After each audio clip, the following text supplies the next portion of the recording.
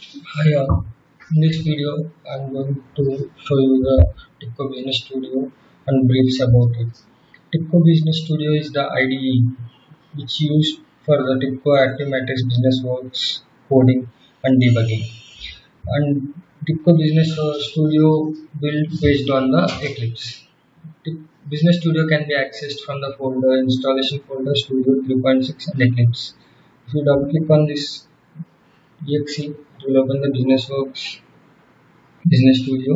And for initially it will ask for the workspace. You need to give the workspace. Like if you don't have any workspace created you can give the empty folder name and click on ok.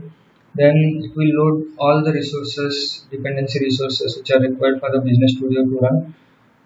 Then it opens the our project like this is the business studio which will be used for Active Matrix business works. And you can see different toolbars and different windows. One is for project explorer and one another one is for file explorer modules other stuff. And another one is here you can see properties and problems related to the our application.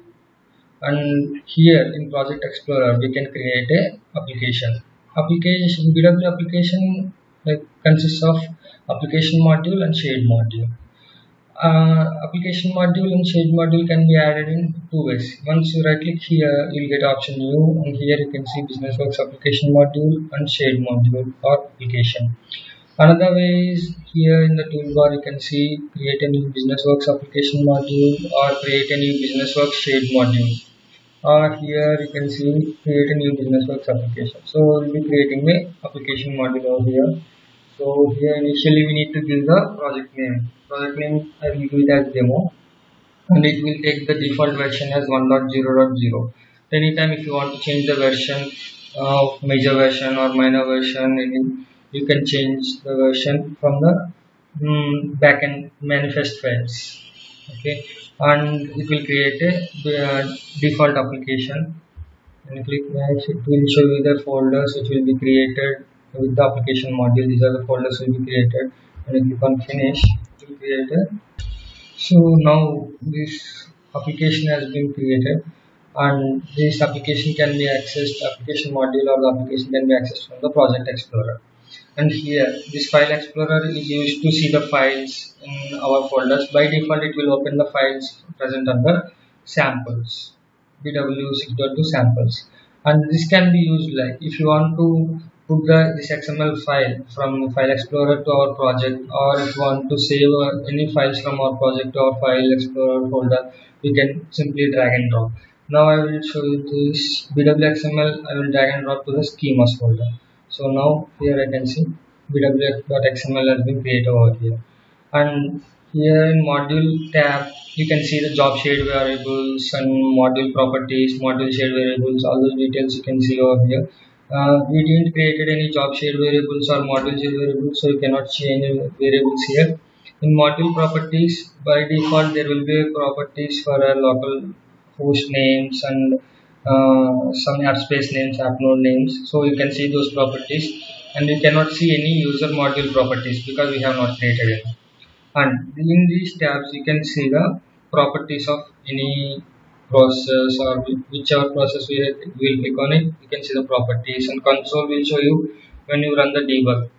And bw help it will show you the help and problems will show you what are the errors present in the project or application.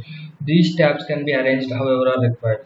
If you double click on this pro properties tab, it will uh, expand, maximize it, and then once you double click, it will minimize it again. And you can take the properties tab to this window, and here you can see the problems, and here you can see the properties tab, all those details. And if you wanted to arrange that, you can arrange it like this, and you can divide it like this as well, and you can see the details by side by side and you can put it here by default in if you close this properties tab and you can open it from here. Windows open perspective sorry and this properties so here you can open right? So see now these problems went up right? Now if you want to take it back okay drag and drop over here and you can here also you can divide the windows side by side. And if you want to combine it back and you can put it like this. All the like we can arrange the business studio however we want it like based on our comfort. And uh, here you can see the palette libraries. So palettes and palette libraries. If you click on any palette library it will show you the palettes sub palettes which are available for that palette library. So in palettes can be added to our project in three ways first one is you have to select the palette over here and drag and drag and drop on the process. So here palette has been added.